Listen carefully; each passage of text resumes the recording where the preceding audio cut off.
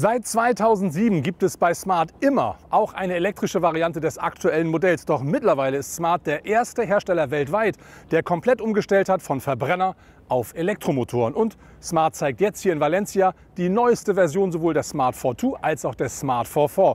Und ich schaue mir jetzt heute mal an, was ist eigentlich neu am neuen Smart. Wir reden über das Thema Reichweite, wir reden über den Innenraum, die Vernetzung und wir reden natürlich auch über das Design.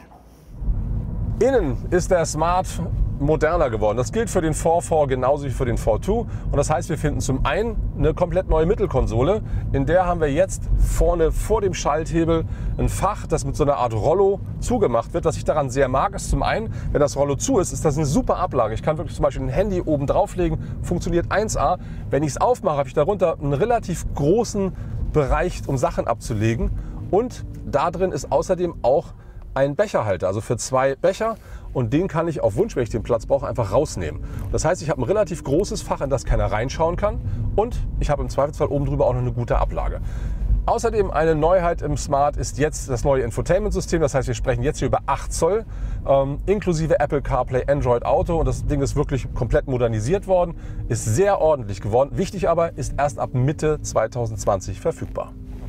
Der neue Smart Electric, genauso wie sein Vorgänger, hat immer noch einen Elektromotor an Bord, der 60 Kilowatt maximale Leistung liefert und der äh, maximal 160 Newtonmeter Drehmoment zur Verfügung stellt. Wichtig ist aber, dieses Drehmoment, das gibt es hier beim Elektrofahrzeug ab Umdrehungszahl 0. Und das sorgt einfach dafür, dass so ein Auto doch auch mit nur 60 kW, wie man jetzt sieht, schon recht ordentlich geht. Also da macht wirklich Spaß. Wichtig außerdem zu wissen ist, diese 60 kW, das ist die Spitzenleistung des Fahrzeugs. Die sogenannte Dauerleistung sind nur 41 kW und das ist dann aber auch die Bemessungsgrenze für die Versicherung. Das heißt, es ist günstiger. Für alle, die sich damit nicht so auskennen, das als kleinen Hinweis. Was ein bisschen schade ist, ist, dass Smart bei dem Facelift den Antriebsstrang nicht verändert hat. Beim Motor ist mir das egal, aber die Batterie ist auch die gleiche wie beim Vorgänger. Das heißt, wir reden nach wie vor über 17,6 Kilowattstunden Kapazität und das reicht hier beim Smart laut Datenblatt für rund 150 Kilometer. Realistisch bei uns in Deutschland bei dem häufig nicht ganz so tollen Wetter sind aber eher so 120 Kilometer und das reicht natürlich für die Fahrt in die Stadt und für die mal, typischen 30 Kilometer, die der Durchschnittsdeutsche am Tag fährt. Aber in dem Moment, wo ich eben sagen möchte, ich will eine längere Strecke fahren, Verwandte besuchen, in Urlaub fahren, was auch immer, sind eben 100, 120 Kilometer gar nichts. Und ja, ich kann den Smart mit dem Schnelllader, der optional dazu zu kaufen ist, ähm, mit dieser Option mit 22 kW innerhalb von 40 Minuten von 10 auf 80 Prozent vollladen. Aber wenn ich alle 100 Kilometer 40 Minuten warten soll, dann ist eben auch dieses Schnellladen eben nicht schnell genug. Und da hatte ich mir ein bisschen mehr erhofft. Wie gesagt, leider hat Smart diese Karte nicht gespielt. Beim Blick auf den Wettbewerb wird sofort klar, wo der Schwachpunkt des Smart liegt. So wird zum Beispiel die Reichweite des neuen VW E-Up und seiner Konzernbrüder Skoda Citigo e.V. und Seat Mi Electric mit bis zu 260 Kilometern angegeben. An der Front trägt der Smart jetzt wieder den Smart-Schriftzug und nicht mehr das Logo. Aber beim Design ist noch einiges mehr passiert und das erklärt mir jetzt Gordon Wagener. Ja, hier ist unser neuer Smart. Das ist die Edition One, die ist richtig cool mit grau und schwarzen Akzenten, richtig sportlich. Aber was am meisten wichtig ist, ist das neue Gesicht für Smart. Was eigentlich so ein bisschen von dem alten, von dem ersten Gesicht äh, inspiriert ist. Weil Smart war immer, oben sind die Augen, unten ist der Mund. Und man sieht, ähm, wir haben den, den Mund, den Smart-typischen Mund mit einem leichten Lächeln äh, nach unten genommen, größer gemacht, mehr auf die Straße, äh, sportiver, Drive Agile gemacht. Oben die Augen haben modernisiert mit äh, Tagfahrlicht, Innenleben. Haben natürlich das Auto auf diesen 2,70 Meter gelassen, damit die ganzen Parkvorteile äh, bleiben. Äh, das ist ja das äh, Tolle beim Smart. Aber ich glaube, das Auto hat dadurch eine ganz neue Identity bekommen. Wir wollten den 4.2 und den 4.4 mehr differenzieren. Also die haben beide einen anderen Grill. Beides ein Smart Grill natürlich. Ähm, unten der große fahraktive Grill. Aber der Viertürer ist ein klein bisschen böser, aggressiver. Da haben wir den Grill negativ gestellt, dass der richtig schön auf der Straße steht. Und äh, der Zweitürer äh, kam es immer noch with a smile. Im Prinzip haben wir das intern nur aufgewertet von den Materialien her, äh, von den Stoffen und vor allem äh, mit der Connectivity, mit MIUI. Es gibt also einen größeren Screen. Es gibt jetzt Integration von Apple CarPlay und Android Auto, äh, dass man wirklich sein Smartphone dann direkt verbinden kann. Ich glaube, das ist sehr wichtig für diese tech-affine Kundschaft. Und ansonsten äh, die typische Smart DNA auch im Interieur. Smart gibt den Verbrauch vom Fahrzeug an mit rund 15 Kilowattstunden auf 100 Kilometer.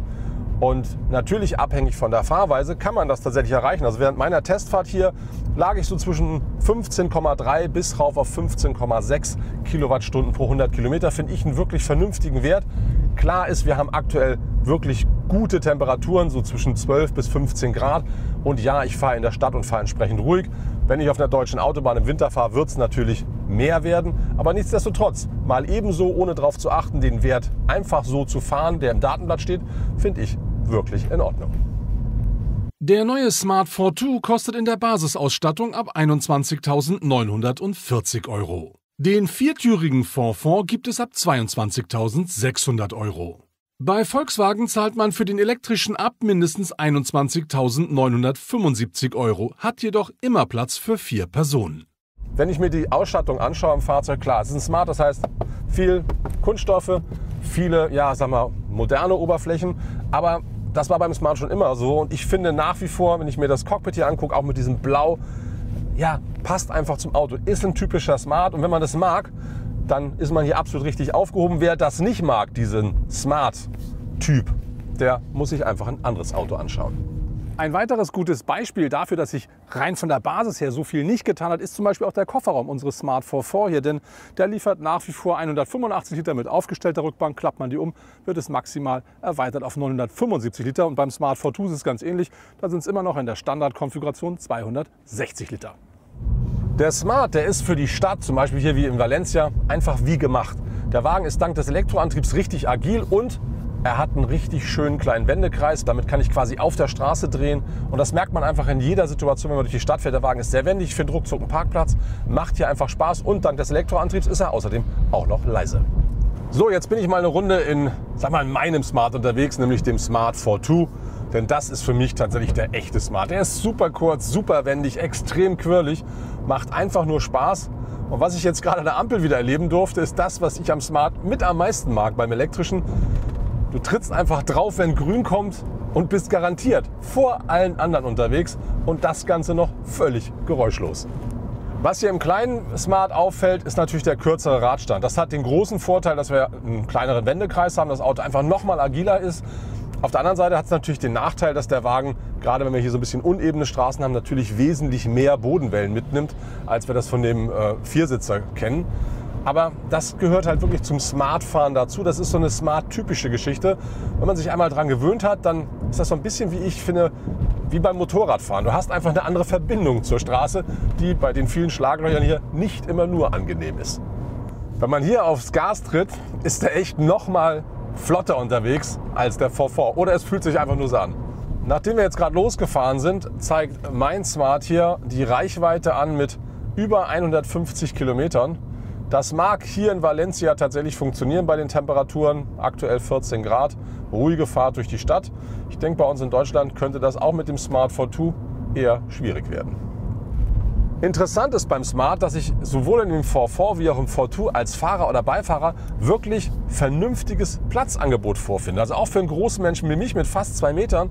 Ich sitze hier vorne wirklich vernünftig. Das Einzige, was ich nicht so mag, ich kann das Lenkrad nicht wirklich zu mir ranziehen. Also ich kann es in der Höhe verstellen, aber ich kann es nicht zu mir ranziehen. Das heißt, ich finde nicht die perfekte Sitzposition. Aber nichtsdestotrotz sitze ich wirklich gut im Auto, fühle mich wirklich wohl. Und wie es hinter mir aussieht, das schauen wir uns jetzt bei einem kurzen Zwischenstopp an.